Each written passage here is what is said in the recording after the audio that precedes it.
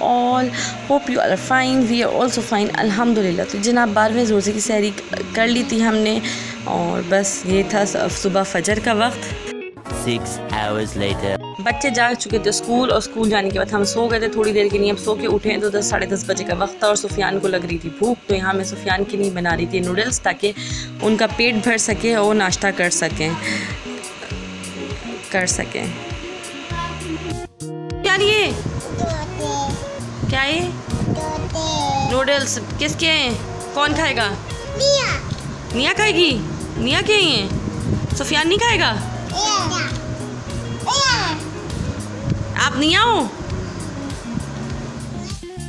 देखिए जनाब, यहाँ पे ये खाना खा चुके थे और खाना खाने के बाद इनको बोलो, अल्हम्दुलिल्लाह। तो ये पूरे मुँह पे हाथ फेर लेते हैं और यहाँ पर ये इन्होंने ख़ुद तो अल्हम्दुलिल्लाह कहा कहा अब निहाकों की कह रहेंगे मेरे हाकों के वो भी ऐसे ही करें।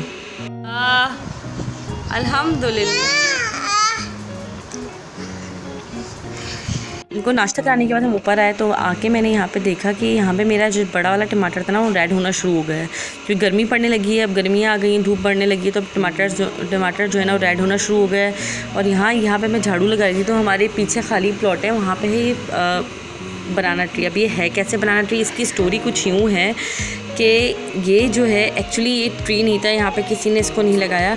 एक्चुअली हुआ क्या लास्ट ईयर जब बहुत तेज़ बारिशें हुई थी, आंधी तूफ़ान वाली बारिशें जब हुई थी तो यहाँ पे हमारी सामने वालों की क्यारी में, ये देखें, अभी मैं आपको दिखाती हूँ, सामने वालों की क्यारी में था ये बनाना प्लांट है। देखिए, जो बनाना प्लांट आपको नज़र आ रहा है ना बनाना ट्री जो नज़र आ रहा है, इतना ही बड़ा था, ज़्यादा बड़ा नहीं था तीन चार फुट का ये प्लांट था। जब बारिशें हुई तेज़ तो ये इतना स्ट्रॉन्ग नहीं था तो ये टूट गया था।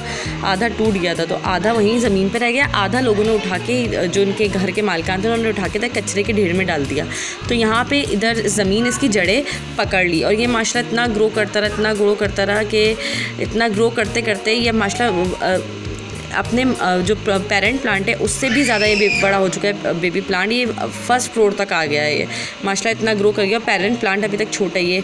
बेशक अल्लाह ताला की बहुत सी नियमत है। उस प्लांट में देखिए पपीते का ट्री भी निकला है।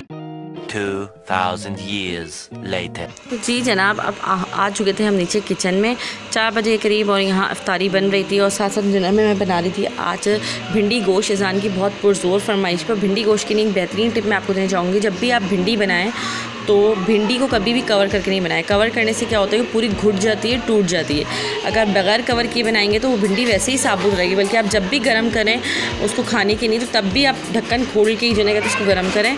गर्म करें, उससे भिंडी जो है साबुत रहेगी टूटेगी नहीं तो बस यहाँ पर भिंडी गोश्त बन रहा था, सबका ऑल टाइम फेवरेट और ये देखिए इसकी शक्ल, देखिएगा जनाब, मैंने इसको ढक्कन कवर बगैर कवर के लिए बनाया था। देखिए इसकी शक्ल कितनी प्यारी शक्ल आई हो हर भिंडी अलग अलग अलग है।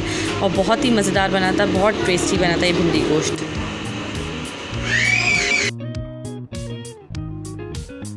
A few moments later. इफ्तार से पहले अब ब्रश आ गई थी इनको बनवाने थे अपने बाल तो मैंने कहा चलो बना देती हूँ मुझे हेयर स्टाइलिंग का बहुत शौक है लेकिन मेरी बेटियाँ तो कोई है नहीं तो बस इन्हीं लोगों पे हम ट्राई कर लेते हैं। यहाँ मैंने इसकी साइड फ्रेंच बनाई थी और साथ साथ उसकी पोनी साइड फ्रेंच के साथ पोनी बना दी थी, जो कि बहुत ही प्यारी लग रही थी और बहुत प्यारा सा, जो कहते इसका बच्ची का हेयर स्टाइल बन गया था। बच्ची भी खुश हो गई थी, हम भी खुश हो गए थे अपना शौक़ पूरा करके।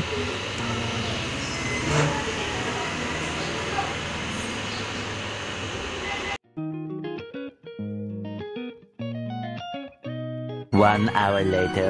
हो चुका था अफ्तार का टाइम अफ्तार में बने थे ज़बरदस्त से दही बड़े और चना चाट वगैरह भी थी A few moments later. इफ्तार के बाद जब ऊपर आए तो ईजान ने देखे अपने पैनल के ऊपर जैसे उसके बॉक्स के ऊपर पिक्चर बनी है वैसे ही पिक्चर अपने पैनल के ऊपर बनाई थी और बड़े ही ज़बरदस्त सी ये चीज़ है ये LCD panel colourful colourful writing tablet बड़ी ही ज़बरदस्त सी चीज़ है और बहुत अच्छी चीज़ है यार।